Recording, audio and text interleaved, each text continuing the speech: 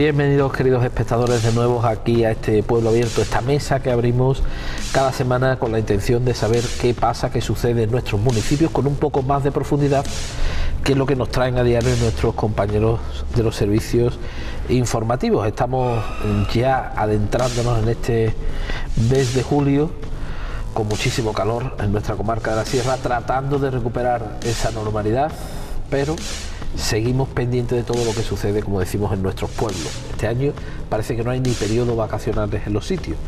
Poco a poco habrá que ir volviendo a la normalidad también en eso y se irá notando. Hay administraciones que van a un ritmo y otras a otros, pero habrá que ver cómo, se va notando, como decimos, en los próximos días todo, todo esto. Eh, yo quería hacer una puntualización como responsable de Canal Sierra de Cádiz al comenzar porque eh, nos han llegado muchas consultas y yo quería aclararle una cosita que no tiene nada que ver con la dinámica de este programa, pero que aprovecho yo este espacio, que es en el que ahora mismo participo activamente, para aclararlo. Eh, Ubrique Unión Deportiva Puerto Real, el pasado fin de semana se pudo ver el partido en toda la provincia, eh, o en buena parte de la provincia, eh, se pudo ver en algunas plataformas digitales que se colapsaron, que, que fueron un desastre, las de la Federación Andaluza de Fútbol, pero no se pudo ver el partido en Ubrique. Nosotros llevamos, pues, desde que se supo que ese partido eh, iba a celebrarse, intentando eh, poderlo eh, transmitir, retransmitir desde esta casa para que se pudiera ver en toda la sierra toda la parte de nosotros llegamos de la Sierra de Cádiz, pero sobre todo en Ubrique, que es donde había especial interés. Hablamos con el equipo, eh, mucha gente que nos ha intentado ayudar, pero no ha sido posible. No fue posible. Eh, los derechos pertenecían a la federación. La federación los tenía vendidos a Onda Cádiz. Federación dinero público, Onda Cádiz dinero público, pero ellos se lo vendieron a una eh, empresa también para que los explotara, entre comillas, para que los utilizara y no, no, tuvieron en cuenta nuestro interés. Nosotros lo teníamos por la por rubrique y ni siquiera se nos hizo una oferta, con lo cual pues nos quedamos pues fútbol moderno, dinero, así que no se nos pidió dinero tampoco, no pudimos decir que no a ninguna oferta económica, simplemente se nos dijo que, que no, que no, que eso ya estaba cubierto para toda la provincia y toda la provincia no era Urique, ya está. Dinero público en algunos medios de comunicación, pero eso es lo que es. Dicho eso, que claro que no es que nosotros no hayamos querido retransmitirlo, todo lo contrario, nosotros tenemos el interés de llevarlo y hemos hecho todos los esfuerzos posibles. Pasamos esa página y vamos a comenzar eh, hablando de hoy de un municipio, en concreto de Villamartín. Tenemos a su alcalde con nosotros, Juan Luis Morales. Bienvenido, alcalde. Gracias Antonio, buenas noches y, calurosas noches. Y calurosa, calurosa. En materia deportiva Villamartín estrena creo que incluso presidente, la Unión Deportiva Villamartín, proyecto, directiva, mm. o sea que, también vamos a tener equipo ahí. se han renovado los órganos, hay una nueva directiva. Y, bueno, coinciden, algunos de los miembros de la nueva directiva coinciden con la anterior directiva, con lo cual le darán continuidad al proyecto, pero hay un nuevo presidente y un y nuevo responsable eh, para esta temporada nueva. Esperemos y desearemos que, vaya lo mejor posible, evidentemente. Mm. Ya que hemos comenzado hablando de, fútbol, hacíamos ahí ese apunte porque se me venía a la mente. Bueno, alcalde, eh, la vuelta a la normalidad, unos municipios más que otros, Villamartín no sé cómo se encuentra en esa vuelta a la normalidad administrativamente hablando, el ayuntamiento en cuanto a su funcionamiento. Eh, no sé cómo está ahí, si ya al 100% o, ahí acostumbrándose? Al 100% no, porque hay algunos servicios que siguen todavía eh, frenados, sobre todo aquellos que dependen de otras administraciones distintas del ayuntamiento y que poco a poco van mandando protocolos de incorporación, protocolos de cómo hacerlo con ese tipo de servicios, con el Orienta, con la Lumoteca, eh, que nos van diciendo y vamos incorporando poco a poco. En lo que depende de nosotros del ayuntamiento, Ahí tengo que decir que hemos, todo el ayuntamiento, los trabajadores, hemos sido muy responsables, han sido valientes, hemos dado un paso al frente y yo creo que Villamartín es uno de los pocos ayuntamientos que, ha estado a pie de cañón ayudándole a los vecinos en estas situaciones tan difíciles y tan complicadas, ¿no? Eh, ofreciéndole la posibilidad de las firmas digitales, ofreciéndole las ayudas sociales de, forma presencial, eh, temas de licencia de obra, cualquier cosa que necesitaban eh, se ha podido atender a los vecinos con las debidas cautelas, con las debidas precauciones, a que todas aquellas que somos capaces de imaginar y, plasmar, pero sí, sí hemos dado un, paso al frente en ese sentido porque la administración local es la administración del vecino, es la que ayuda al vecino, la primera que hay, la de choque, la que, la que recoge todas las inquietudes, todas las necesidades de los vecinos, les corresponda o no. Con lo cual es el primer, mm, lo primero que en esta sociedad nueva tiene que dar un paso hacia el frente para, estar a la altura del, ciudadano. Y mm, prácticamente en todo el confinamiento, salvo la parte más estricta, hemos mantenido y hemos dotado con servicios mínimos el ayuntamiento y eso ha supuesto un esfuerzo no solamente físico sino mental, o sea, un esfuerzo de lo que los trabajadores han dicho, no, venga, yo soy trabajador del ayuntamiento, yo soy un funcionario público, yo voy a estar aquí al servicio de la gente y, la verdad es que estoy orgulloso de cómo hemos sido capaces de, sostener la vida del ayuntamiento para que los vecinos no se vean mermados por culpa de la actividad pública. Mm. Hay intentos de, de vuelta a la normalidad en todo y Villa Martín también está dando pasos en ese sentido, ahora los analizaremos. Eh, en esa atención al ciudadano, lo que se ha disparado, lo analizábamos hace un tiempo aquí en esta misma mesa, entre alcaldes y demás, supongo que la situación seguirá siendo la misma unas semanas después, lo que se ha disparado es la, petición de ayudas por parte de, los vecinos, ¿no? En la, crisis... Está, eh, está, subiendo de forma gradual. COVID eh, económica se nota. Subiendo de forma gradual. Eh, y, no se estanca y no baja. Eh, entiendo, como ya se analiza en distintos sitios, que desde aquí hasta fin de año o hasta la primavera del año que viene vamos a tener una curva que va a ir creciendo en demanda social con problemas de distintos tipos que a priori hemos sentado las bases para poder responder en la medida de las posibilidades que un ayuntamiento tiene pero eh, entendemos, preveemos y, así viene ocurriendo por los datos que tenemos que, la demanda va creciendo poco a poco, que se van incorporando familias nuevas con necesidades. Eh, nosotros todas las semanas realizamos una junta de gobierno, no hemos dejado de hacerla en todo el periodo del, del tiempo del COVID y lo que hacemos es toda la semana para intentar agilizar las ayudas para que nadie se vea afectado por problemas de corte de luz o problemas de, suministros de agua o alquileres o medicinas o cuestiones de este tipo. ¿no?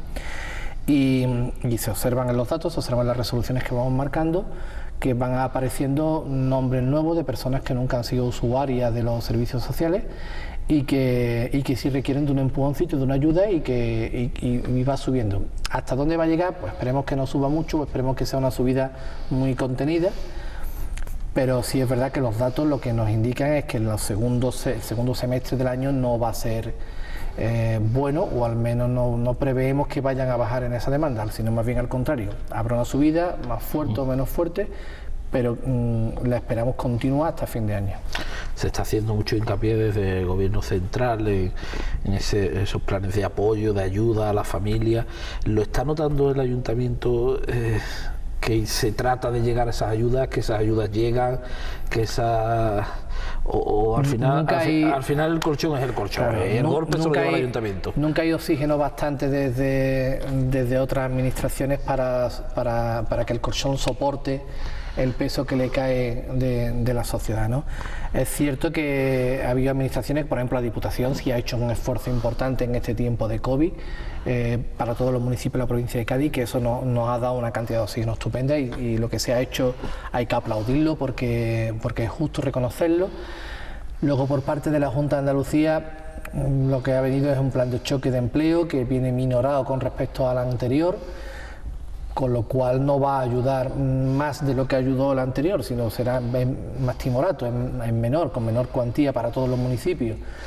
Y, por parte del Estado llegó una transferencia eh, de la participación en los ingresos del Estado que se articuló a través de la, de la misma Diputación, que la Diputación pudiendo haber, uso, haber hecho uso de ella, no hizo uso y la transfirió íntegramente a los ayuntamientos y bueno, son, son ayudas que te ayudan y que te alivian, pero con eso no, no salvamos ni tan siquiera uno de los 12 meses. Eh, al final es el ayuntamiento eh, el que tiene que, chocar y el que tiene que, que afrontar ese, esos retos. ¿no? Volvemos a lo de siempre, ¿no? Mucho municipalismo en cuanto a la atención al vecino, poco municipalismo en cuanto a fiscalidad, en cuanto a. La, financiación de los ayuntamientos en esta democracia nuestra es un un debate continuo, alargado en el tiempo y ya empieza a ser una cuestión de, chiste o de risa. porque desde la Administración Central continuamente se abren debates de la financiación autonómica, de la financiación del Estado, pero aquí nunca nadie habla de la financiación de las administraciones locales, si bien somos el conjunto de todas las administraciones locales, de todos los ayuntamientos, los que han conseguido que España tenga unos datos de déficit razonables. Y somos las que conseguimos que los vecinos puedan tener atenciones.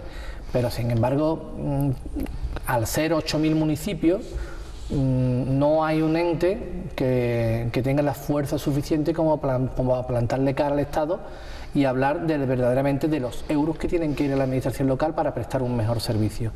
Como los ayuntamientos carecemos de ese ente que nos aúne, porque la Federación Española de Municipios es cierto que nos aúna, pero por algunas razones que posiblemente sean políticas, pues no consigue tener una fuerza reivindicativa suficiente como para que se plantee en serio una refinanciación o una financiación correcta de, la, de las administraciones locales. Esa es una desde que yo estaba en la facultad y se hablaban cosas parecidas a estas, es una demanda continua. Han pasado ya 30 años y seguimos con la misma. Queda igual que esté en Madrid. No, importa quién gobierne en Madrid, porque. A lo mejor sí sucede porque los 8.000 o buena parte de los 8.000 no se van a poner de acuerdo para plantarse en Madrid con la llave del ayuntamiento y decirle. Ojalá tuviéramos 8.000 alcaldes en Madrid con el bastoncito en alto eh, pidiendo. Y la llave otro lado y decirle, toma, abrirlo usted de mañana. Cuando llega a ese, ese extremo, pues entra en juego la política, entra en juego los partidos políticos y se pierde la unidad. Claro, de los 8.000 se cae la mitad donde gobierna el que está gobernando. La mitad.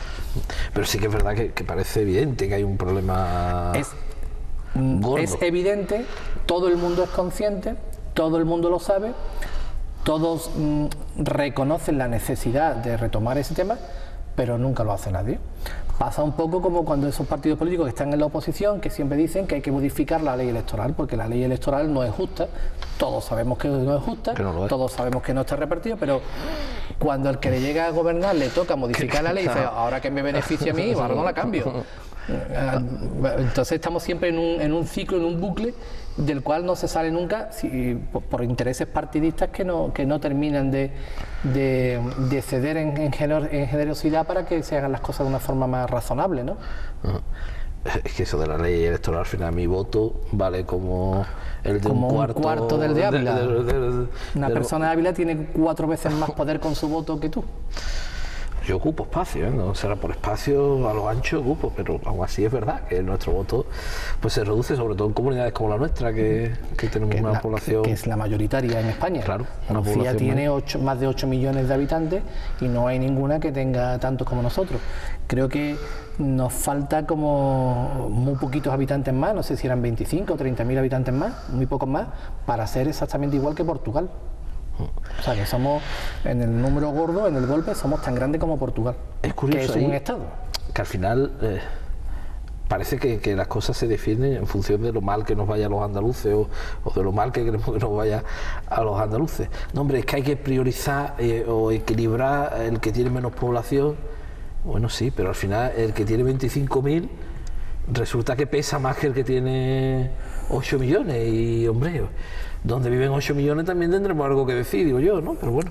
Hombre, la democracia tiene que garantizar que las minorías tengan voz. Claro, está claro. Pero, la ley, una cosa, la electoral no está en eso ahora mismo, está muy desfasada porque ya no es que se garantice que las minorías tengan voz, sino que lo que está viendo es un agravio comparativo muy importante, como hasta el punto de que una persona en Ávila tiene cuatro veces más poder con su voto que nosotros. Y, eso, no es, y eso no es eso no es compatibilizar, eso no es compensar, eso es desproporcional. Claro, que hay un partido que con 8.000, 10.000 votos tiene la sartén cogida por el mango en toda España Correcto. y hay otros partidos que con un cuarto de millón de votos ni, han, ni han olido. No tienen nada. Ni han olido el Parlamento. O sea que eh, una cosa es e y otra cosa es... Hay que establecer mecanismos de compensación que permitan que la proporcionalidad del pensamiento de la población llegue a, las cámaras, a la, Cámara del Congreso de los Diputados y a la Cámara del Senado. Que al fin y al cabo es donde hay que, donde hay que tener representación. Bueno, eh, Villamartín, además de otras muchas cosas, volviendo al municipio, es centro sanitario de, la comarca de la Sierra de Cádiz. No sé si eso hace que se haya vivido esta situación que ha pasado de una forma especial. No sé también cómo hace eso que se, que se viva desde el municipio esas posibilidades de rebrote, porque claro... Eh, si el miedo del municipio al principio de la pandemia y ahora a lo mejor tal vez eh, no lo tengamos, pero puede que vuelva en cuanto se escuche algo en cualquier sitio, siempre hay el temor, bueno, a Villamartín llega, porque Villamartín se trasladan los enfermos de otros pueblos. Eh, no sé cómo se vive desde el municipio ese centro, sobre todo en este caso, en cuanto a la sanidad.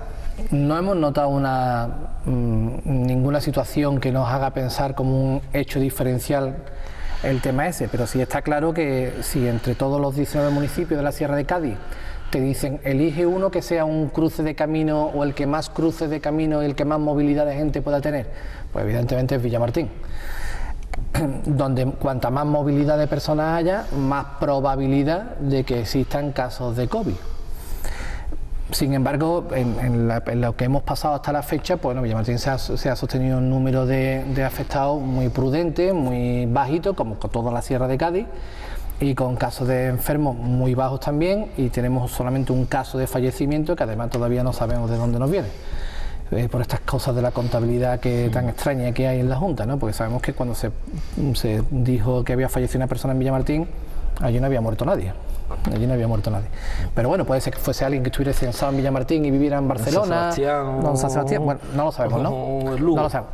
A, los efectos finales tampoco es eso de una vital importancia porque lo, que tenemos que hacer de todo es luchar y ser conscientes de lo que tenemos entre manos, ¿no?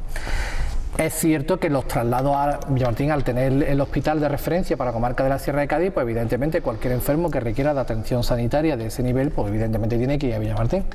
Pero eso en la población no se ha visto afectada porque el, mm, el enfermo llega al hospital, se está aislado en el hospital, el hospital ha establecido sus protocolos que me constan que han funcionado perfectamente y, no, eso no ha supuesto ningún, ninguna línea de contagio, ni mucho menos, ni de una posible vía de, eh, que, preocupe a la población, ni mucho menos. Entre otras cosas porque entiendo que se han hecho las cosas mm, razonablemente bien, ¿no? como los posibles fallos que haya habido, evidentemente, pero se han hecho las cosas razonablemente bien y con compromiso firme por parte de los sanitarios que han tenido que estar en primera línea. ¿no? Y a mí me gusta recalcar en aquellos sanitarios que han tenido que estar en primera línea, que serán un 10%, un 15%, un 20% del total de los sanitarios, pero los que han tenido que estar en primera línea, esos han sido muy conscientes de lo que tenían entre manos y, lo han hecho. En el caso de Villamartín, yo entiendo que, que bastante bien y hay que felicitarlo. Mm. Pero por lo demás no tenemos graves problemas. Ahora en esta nueva situación que estamos viviendo en la que los confinamientos no se van a producir de forma masiva, sino solamente de forma localizada allí donde haya eh, burbujas o yo le llamo también champiñones, ¿no? donde, donde surja un, un problema, pues mm, evidentemente yo creo que ahí se juega ahora mucho con la aleatoriedad de los movimientos que hay entre personas, ya el turismo ha llegado a la provincia de Cádiz, eso provoca que venga gente de toda España, incluso del extranjero. ¿Se puede producir un brote? Pues evidentemente. Yo creo que quién se le iba a decir a los trabajadores, a los jornaleros del campo de Lleida, quién le iba a decir que iban a tener ese problema, o a los de Galicia, en Lugo, pero son cosas que pueden ocurrir y pueden ocurrir en Villamartín o pueden ocurrir en Bilbao o pueden ocurrir en Ciudad Real o en Valencia. Allí donde ocurra, lo que hay que estar es atento y preparado y actuar cuando llegue el momento no podemos pensar que no va a ocurrir. Claro, no podemos pensar que no va a ocurrir, porque sabemos positivamente que sí va a ocurrir. Lo que no sabemos es dónde.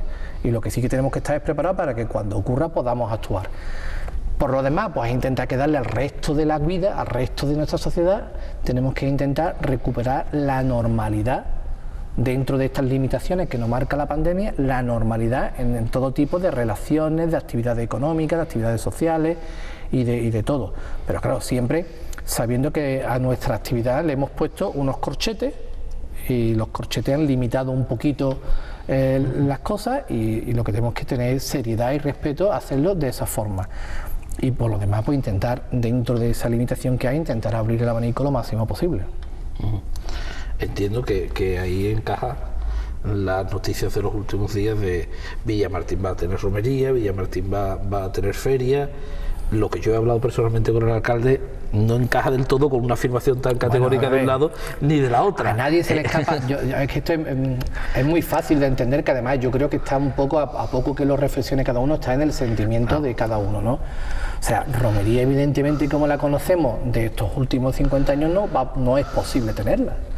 No es posible montar carroza, eh, no es posible hacer esa fiesta de peregrinación que, hacíamos a la ermita del santuario de la Virgen de la Montaña. O sea, eso no puede ser. Pero tampoco podemos permitir que la pandemia nos pase por encima quitándonos nuestro arraigo y nuestras costumbres.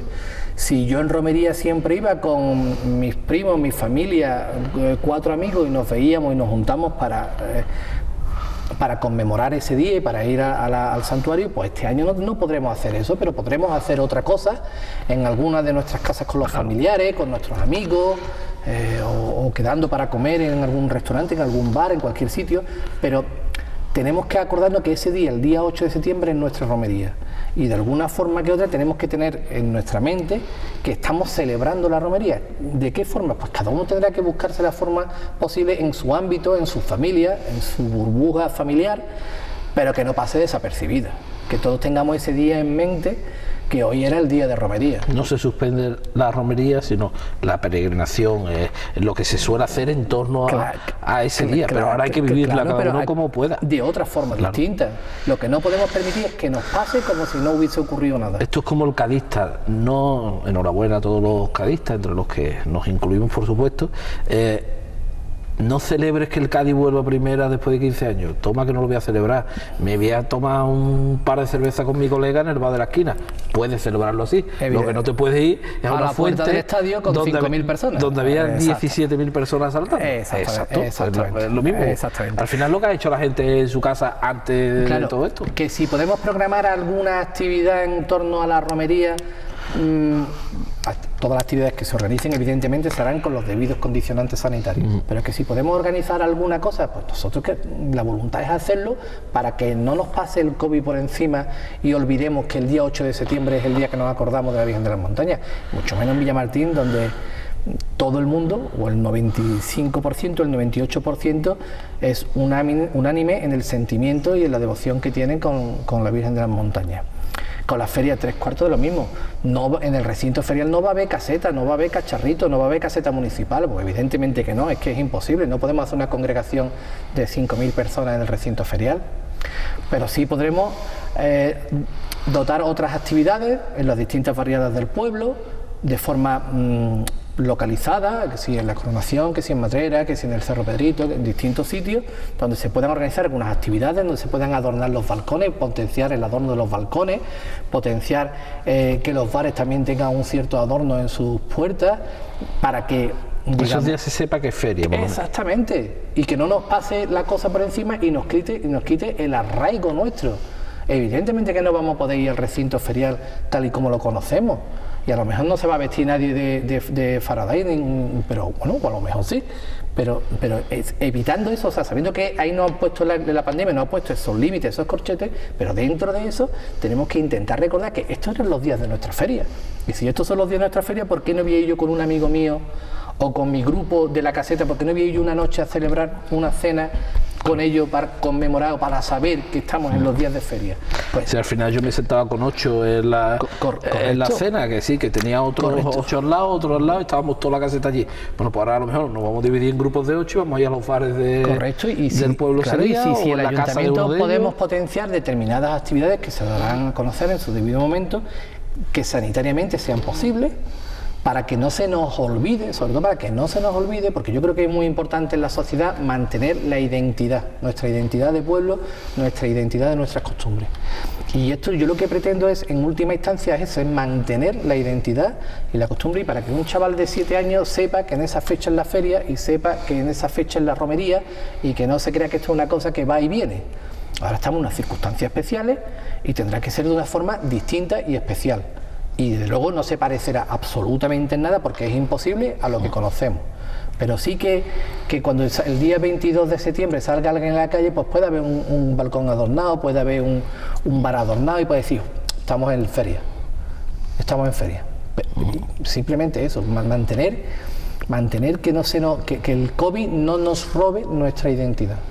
Y en romería entiendo que habrá sus oficios religiosos, sus temas religiosos. Los que, corre- quien- los que, corresponde que organice la, la iglesia hermandad organice, con la parroquia, claro. Solo que también habrá medidas, no veremos esa, a lo mejor, esa ermita como se ha visto otros años, abarrotada de gente, en la gente pegadita. La misa del de Romero en la ermita, cuando llegaba el cortejo de las carrozas, pues podía reunir mil personas dentro de- del santuario. Pegadita Pues, a evidentemente eso este año es imposible, Imposible. es imposible, no va a ocurrir, pero entiendo yo que la parroquia pues articulará, no sé, dos, tres, cuatro misas, las que sean necesarias, para que aquellas que- personas que quieran puedan ir a visitar a la Virgen de las Montañas con los debidos condicionantes sanitarios. Si hay que estar un metro y medio, pues como están ahora mismo, que todos más o menos hemos visitado, por una razón o por otra, hemos visitado la iglesia, pues uno ve que hay banquitos en los que aquí te puedes sentar, aquí no, aquí no, te, te, te el gel a la entrada. Pues evidentemente yo en- entiendo que casi seguro que la parroquia pues articulará y la hermandad articulará ese tipo de... para que no se pierda tampoco la costumbre para que no se pierda tampoco y se pueda conmemorar. Pero si lo, que, lo, que hay, lo que hay que pretender es eso, es que no se pierdan, que no nos pase esto por encima y, ya seamos otra cosa completamente distinta, ¿no? porque esto habrá que superarlo y esto habrá que superarlo y, y superarlo para que nosotros sigamos siendo los mismos con, con los nuevos condicionantes que nos impongan. Claro está, queda aclarada esa, esa cuestión, si no ahora la, la remarcaremos, pero eso sí, vamos a hacer una pausa para la publicidad y a la vuelta seguimos hablando de Villamartín. Hasta ahora.